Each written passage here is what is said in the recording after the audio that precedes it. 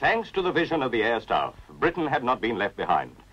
They saw the need for aircraft able to carry even deadlier bomb loads, higher, faster, and further than ever before.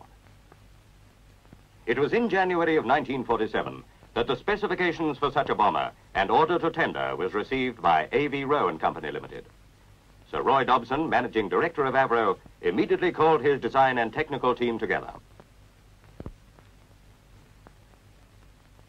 Avro's designers had already examined the problems of creating an aircraft with the very ambitious performance demanded by the ministry, but now it had become a firm requirement. Roy Ewans, chief designer, explains the problems involved.